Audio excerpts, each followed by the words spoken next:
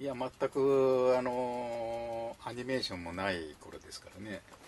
あの僕が貸本貸本漫画を描くようになったのは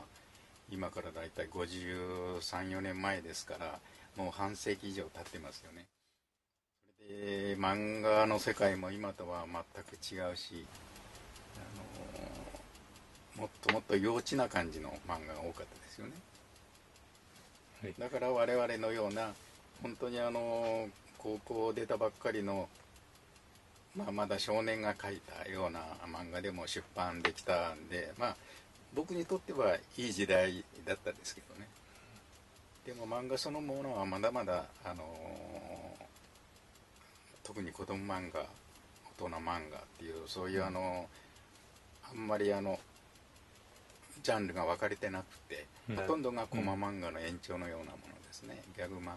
ていうか。で劇画っていう名前をつけたんですけども。